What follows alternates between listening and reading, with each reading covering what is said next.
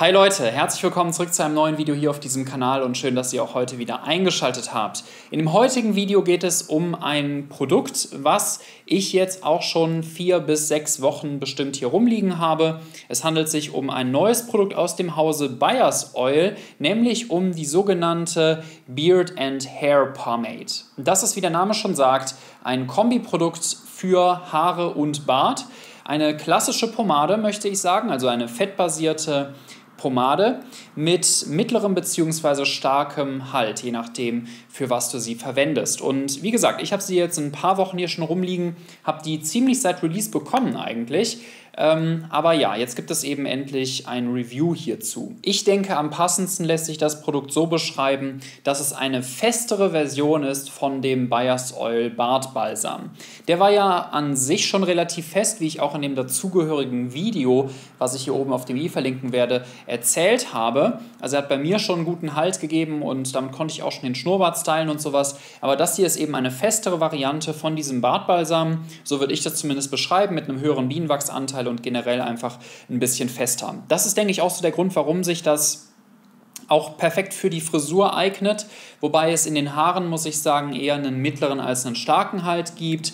Und im Allgemeinen fühlt sich das Produkt in den Haaren sehr ähnlich an wie die rote Dux, also wie Dux Wave and Groom, was ihr ja auch inzwischen, glaube ich, in jedem guten Drogeriemarkt eigentlich finden können müsstet. So von der Konsistenz her wie diese typische Petro-basierte Pomade, also wie diese typische Vaseline-basierte Pomade, hat dafür aber, finde ich, eine wesentlich angenehmere Anwendung im Haar, denn diese Vaseline-basierten Pomaden sind immer unfassbar klebrig und das Wollwachs, was hier drin verarbeitet ist, worauf äh, der Bastian in allen seinen Produkten, soweit ich weiß, zurückgreift, ist einfach viel, viel angenehmer, weil es sich direkt in den Händen auflöst und du das Ganze dann dementsprechend besser verteilen kannst in den Haaren. Vom Glanzfaktor her in den Haaren ein sehr stark glänzendes Produkt auf jeden Fall, was ich persönlich sehr begrüße, weil ich finde, dass es der Welt an stark glänzenden Pomaden mangelt.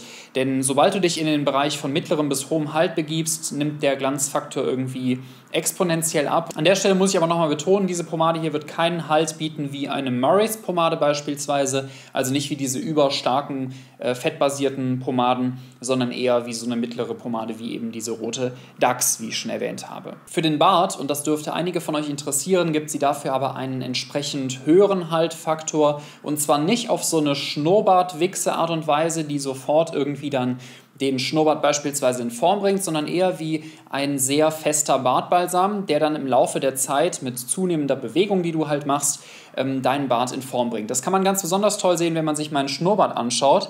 Denn ich habe euch jetzt irgendwie drüber gelegt, mal so eine Szene oder werde die jetzt noch drüber legen, wie ich mir den Schnurrbart heute Morgen gestylt habe. Und da könnt ihr ganz eindeutig sehen, dass die Seite hier beispielsweise noch nicht so diese schöne Welle hat, die ich jetzt gerade habe. Und daran sieht man, dass dieser äh, Balsam auf jeden Fall mit dir arbeitet und mit den Bewegungen arbeitet, die du an deinem Bart vollziehst. Denn was ich immer gerne mache, wenn ich nachdenke, werden viele von euch wahrscheinlich auch machen, die so einen Schnurrbart haben, ist, dass ich da immer so ein bisschen irgendwie dran, dran entlang fahre.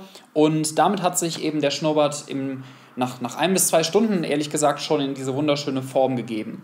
Das heißt, der Halt von dieser Bartpomade ist eigentlich eher wie so ein sehr festes Bartbalsam und das kommt dann eben nach einer ganzen Weile alles zusammen. Was du aber natürlich auch machen kannst, ist selbstverständlich eine Rundbürste beispielsweise nehmen und einen Föhn. Und wenn die Pomade im Bart drin ist, mit einer, mit einer, mit, mit einer leicht warmen Temperatur da rein zu föhnen, nicht zu stark, äh, damit du dir nicht wehtust und damit es nicht irgendwie zu lose wird und dann einfach den Bart dementsprechend in Form bringen. Funktioniert auf jeden Fall ausgesprochen gut, ist ein sehr festes Produkt, was du auch anfangs im Bart merkst. Nach einer Weile wird sich das dann ein bisschen auflösen und dir eher ein natürlicheres Feeling geben. Aber im Gesamten muss ich sagen, auf jeden Fall ein sehr tolles Produkt, um Barthaare zum Anliegen zu bringen. Der Haltfaktor von diesem Produkt variiert, finde ich persönlich relativ stark mit der Temperatur von der Umgebung, in der du dich gerade befindest.